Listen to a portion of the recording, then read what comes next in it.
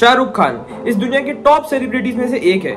Padma Shri award winner 16 times Filmfare award winner brand ambassador of world cup 2023 owner of a crazy fan base खैर, मैं introduction दे भी क्यों रहा हूँ? He doesn't need an introduction Shahrukh Khan. नाम ही काफ़ी है। और मैं शाहरुख खान से मिलने वाला हूँ। नहीं हो रहा ना भरोसा? होगा भी नहीं। देखते जाओ बस। लेकिन मैं उनसे मिलूँगा कैसे? तो ये है शाहरुख खान का घर, मन्नत। और मैं यहाँ बैठ गया हूँ। और मैं यहाँ से तब तक नहीं हिलने वाला जब तक मैं शाहरुख खान से मिल नहीं लेता। पागल लग रहा होगा ना?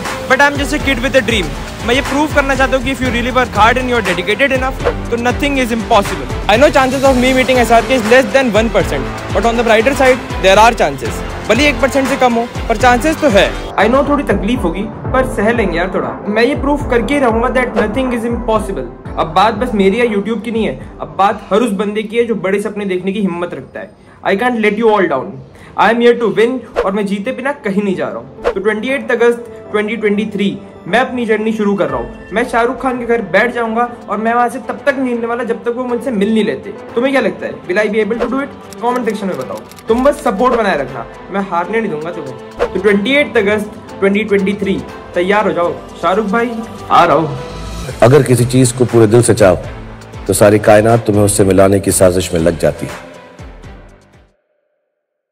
पिक्चर अभी बाकी है मेरे दोस्त।